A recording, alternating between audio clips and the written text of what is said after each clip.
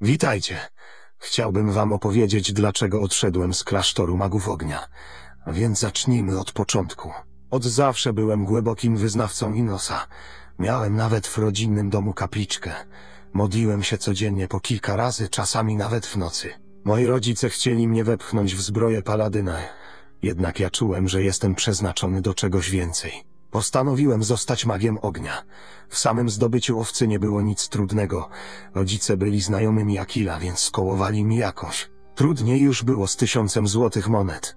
Pracowałem cały rok jako czeladnik u Konstantino. Nie był to bezowocny rok, gdyż dzięki temu poznałem podstawy alchemii, co na mój młodzieńczy rozum miało mi pomóc w klasztorze. Przechodząc do meritum udało mi się uzbierać pieniądze. Kiedy dostałem się do klasztoru, byłem z siebie dumny. Naprawdę zostanie nowicjuszem było czymś wyjątkowym w moim mniemaniu. Był tylko jeden problem. Od początku z nieznanych mi przyczyn podpadłem arcymagowi Serpentesowi. Kurwa Serpentes, jak ja go nienawidzę. Myślicie, że on się nie rusza z tego swojego krzesła. Też tak myślałem do czasu, aż poszedłem z moimi braćmi jeść kolację. Ta stara pała pobiegła do naszych komnat i wysrała mi się na łóżku. Noż kurwa, dobrze, że Opolos mi załatwił owczą skórę, bo bym na gołej posadzce musiał spać. To jeszcze nie wszystko. Pieniądze, na które pracowałem cały rok. Pieniądze, które moi bracia składali, wierząc, że będzie to dar dla Innosa i przyda się to na potrzeby klasztoru. No o potrzeby jak najbardziej, ale Serpentesa. Myśleliście, że skąd Lechmar ma złoto na pożyczki? Sam się dorobił. Gdyby tak było, to by w górnym mieście mieszkał, a nie w stodole jakiejś w porcie. Do tego zamawia sobie dziewczyny z czerwonej latarni. Sam widziałem. Wchodzi w nie jak orkowie do zamku, po otwarciu bram, czyli chętnie i agresywnie. Kiedyś Serpentes zlecił mi misję. Kazał znaleźć trzy jakieś hiperważne artefakty, bo to są jedyne takie na świecie. Dwa tygodnie szukałem tego ustrojstwa, biegając po całej wyspie.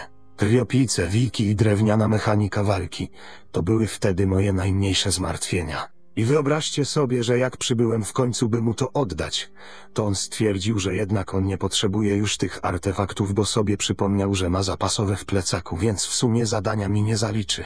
Kurwa mać, jak on nawet plecaka nie ma. Pewnego razu dostałem bardzo smutny list, że moja matka i ojciec zginęli w pożarze. Z racji, że nie miałem ochoty użerać się z tym cwelem, a miło by było być na pogrzebie własnych rodziców, to zagadałem do arcymistrza Pyrokara. Ten mi mówi, że on teraz jest zajęty i ma ważniejsze rzeczy na głowie, bo ktoś podjebał oko i nosa. No i generalnie, żebym truł tym dupę Serpentesowi. Pomyślałem, że może w tak ważnej sprawie i on zachowa się poważnie. Wręczyłem więc mu list i objaśniłem sytuację. On schował list i powiedział, że rozpatrzy moją prośbę, więc muszę przyjść rano. Tak też uczyniłem, a ten stary flet oddaje mi list cały obsrany. Mówi, że się nim podtarł, bo papier miał wyjątkowo miękką konsystencję i żebym przyniósł mu więcej. Modlitwy do Innosa w głównej świątyni też nie przynosiły mi ulgi. Serpentes robił co tylko mógłby mi dokuczyć. A to kielichem uderzył, że przypadkowo, a to świecą gacie podpalił, bo za blisko stałem. Nawet gdy zajmowałem ostatnią ławkę, ten kretyn robił głupie miny, ubierał peruki i okulary ze sztucznym nosem, byle mnie tylko rozśmieszyć. Kończyło się to moją salwą śmiechu i wyprowadzeniem ze świątyni. Kiedyś dał mi magiczną runę, tłumacząc, że po wykonaniu zadania będę mógł wrócić bezpiecznie do klasztoru. Wiecie, co się stało? Odpowiem wam pytaniem. A wiecie, gdzie wywozi się wszystkie fekalia? Z terenu klasztoru. No ja się dowiedziałem. Gdy wróciłem z powrotem do zakonu, Serpentes powiedział, że postradałem rozum, osmaruję się własnym gównem, zamknęli mnie w izolatce i trzymali tydzień o samej wodzie. Z innych przypadków to sytuacja, gdzie Serpentes kazał mi czyścić swój magiczny kostur. Mówił mi, żebym robił to dokładnie dopóki z magicznej laski nie wyleci czar. Wtedy powiedziałem sobie, że mam dość. Miałem być stworzony do wielkich rzeczy. Obecnie pracuję na farmie Lobarta. Subskrybując kanał, oceniając i komentując ten film doceniasz moją pracę i wspierasz rozwój mojego kanału.